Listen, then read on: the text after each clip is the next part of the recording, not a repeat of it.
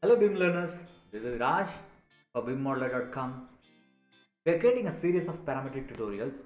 In this tutorial, we are going to watch how to create a parametric leg family and we will be learning how to create an angle constraint for a leg which is at two different directions and we will be able to control both and we will be creating uh, Uh, angle for both direction and we will be later assigning the same to a table or maybe a stool or maybe a chair what we are trying to create in a parametric tutorial. So this is going to be a shared family in later tutorials. So stay tuned and learn the tutorials and give a command if you want to add something else. Do subscribe and share with your learning friends so that they also learn it. Let's start the new family.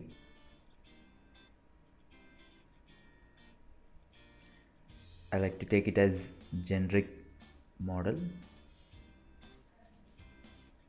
Close the background view, change the category into furniture and select OK. Save the family into the appropriate location backup file as one.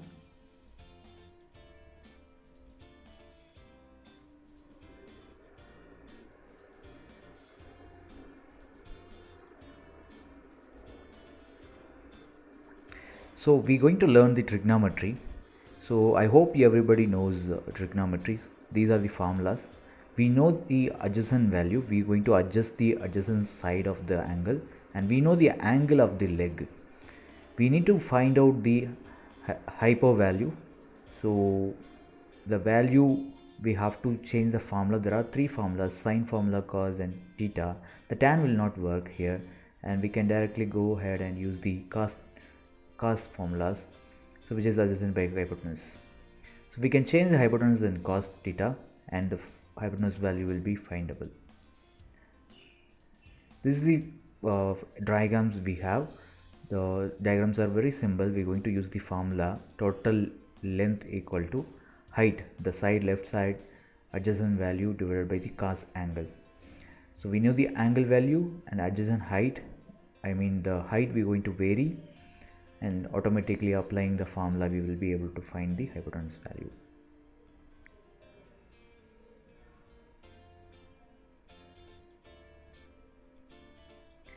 Let's start creating the reference plane and parameters as we discussed.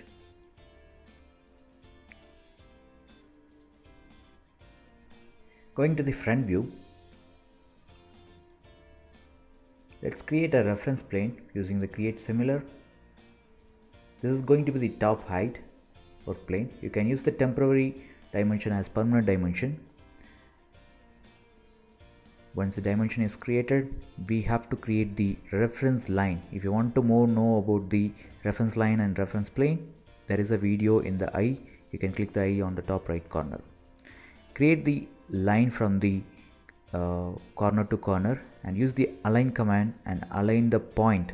Using the tab you can use find the point and lock the with both the axes and create a dimension angular dimension between reference plane and the reference line. And if it is bigger you can change the scale value so that it will be smaller. Assign the angle constraint. The parameter value is angle 1 select ok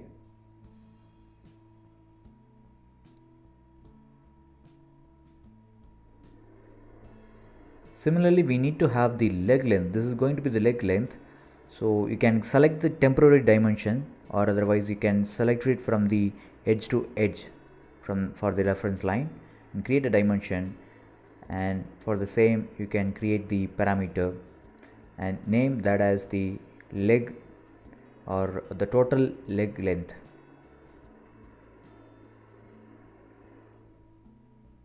okay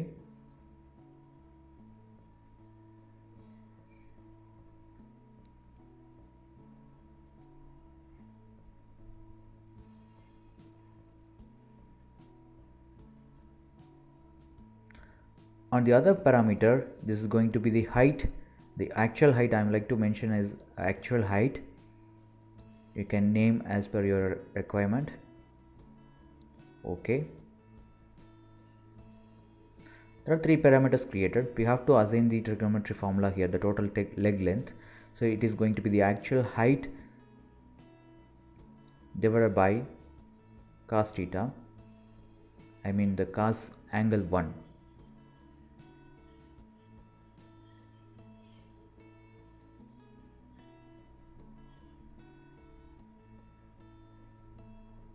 once it is assigned you can click ok or apply.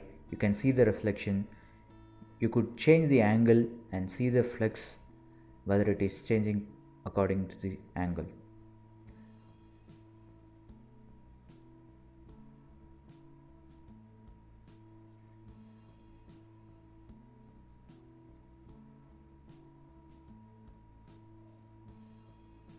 Change the height and flex it. It works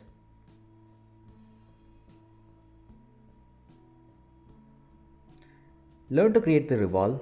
The revolve requires a closed profile and a center axis.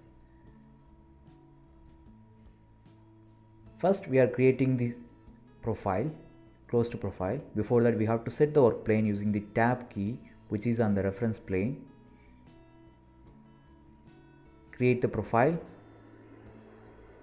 and don't forget to lock it with the center reference line. Draw as you like the leg shape with the dimension I'm not to I'm not going to create the leg diameter as parametric.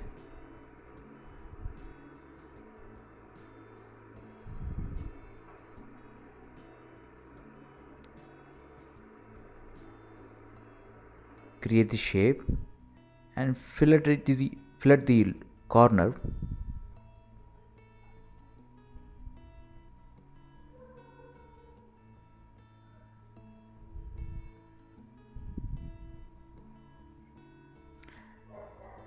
Use the trim and extend tree or command and draw the center axis exactly on the reference plane which we have which reference line we have drawn. And don't forget to lock it.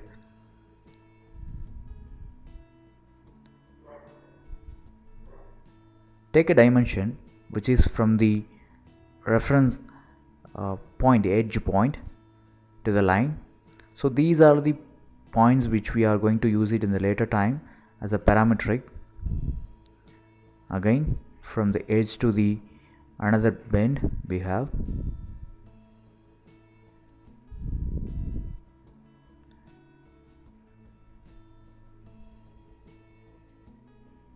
assign this as a a1 parameter lock it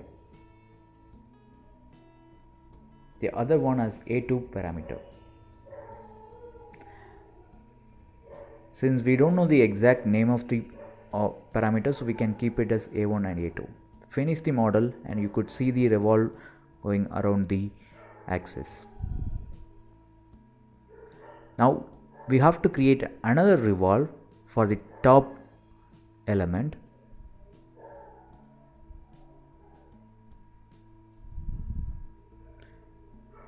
Use the pick line and lock it. Everything is same you have to create a closed loop and an axis.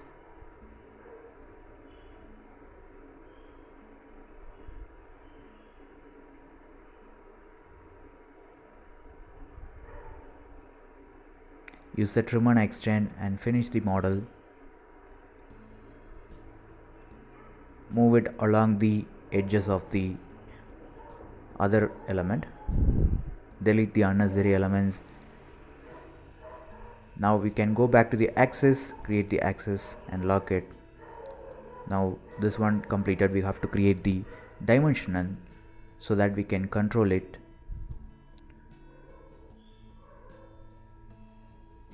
Align everything. Take the dimension. So this is the second sweep we are doing. So I like to assign the parameter name as b2 or b1 which will be very useful for me to understand. So there is a dimension of 5 gap in between the elements. So I like to control the these gap always. So I like to assign the parameter b1 equal to the value of uh, a2 minus 3 but something wrong with the parameter the constraint we have assigned so I have to check the constraint again one more time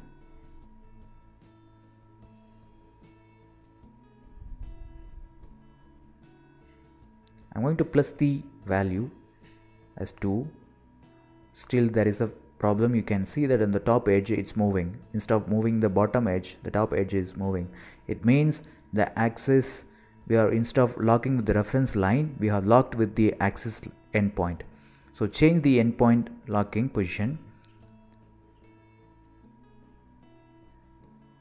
Change the dimension and unlock the edges align it again with the reference line endpoint with the object. So make sure that you are aligning it properly. So assign the parameter value as b1 now if you see that it's maintaining the gap now you can go back to the formula and change the value as minus 3 I like to keep it as 3 as gap so that it will be more detailed. Now it's good the same way we have to check the other object we have yes we have assigned it as wrong position. So we have to change the dimension edit the edges edit the witness line again. Now we can assign the parameter again to the same one. That's it. Save the family. So now we have to check if it is required to be whether it is moving along with the sweep or not. You change angle and height of the para parametric family you will be get to know whether it is working properly or not. Everything is good?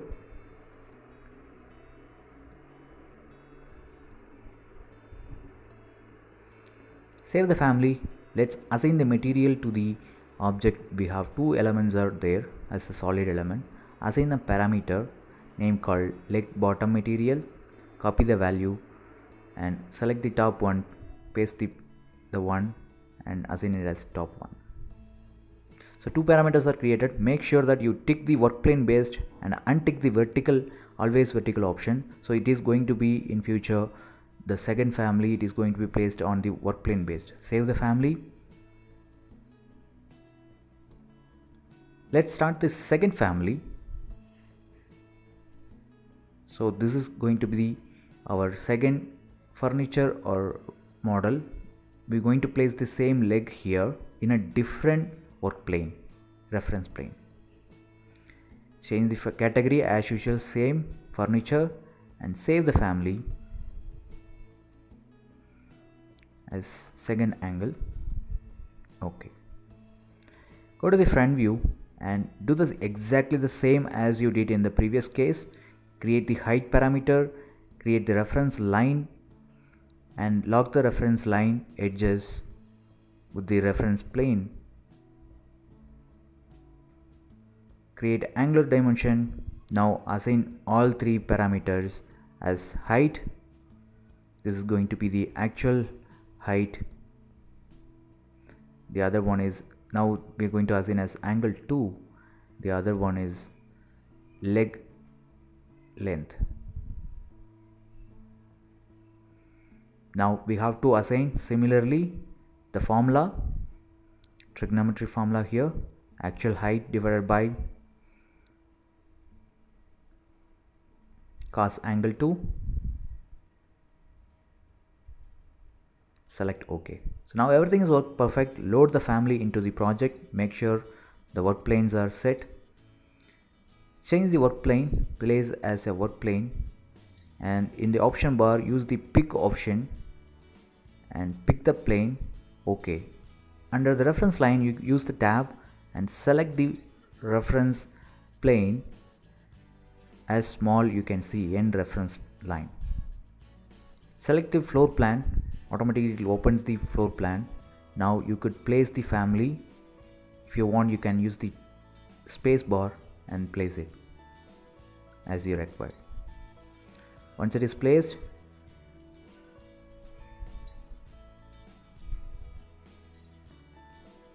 select the family go to their edit type so that we can change their or assign their parameter here so that we can take their parameter from the other family to here. Create the parameters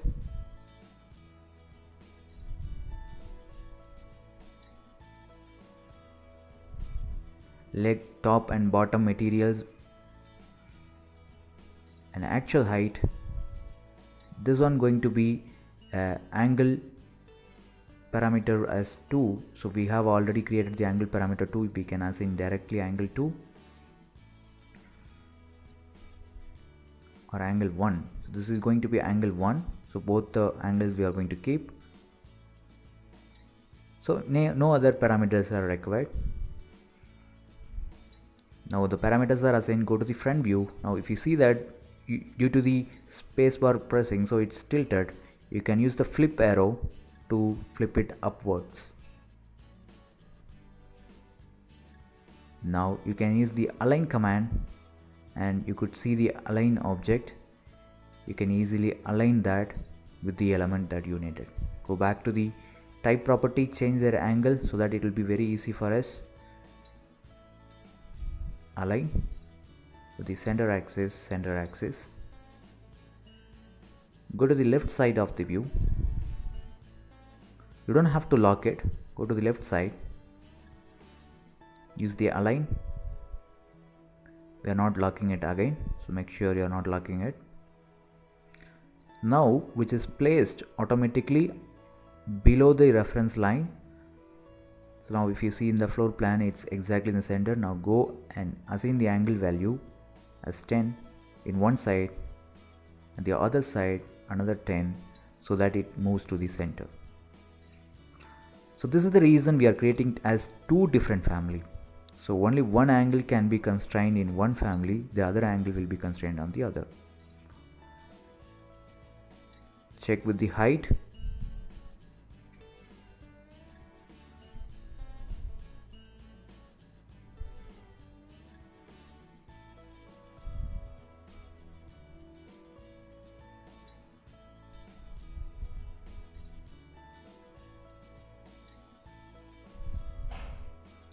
Now copy the angle and paste that into angle 1. Now we have to assign only one angle value automatically the other one changes. If you need you can change the angle 1 as angle value it will be easy for us to understand. We can always change the angle value the angle 2 will be changed.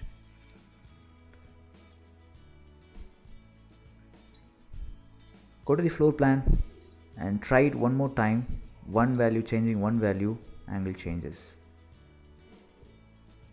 12 angle 12 it changes again.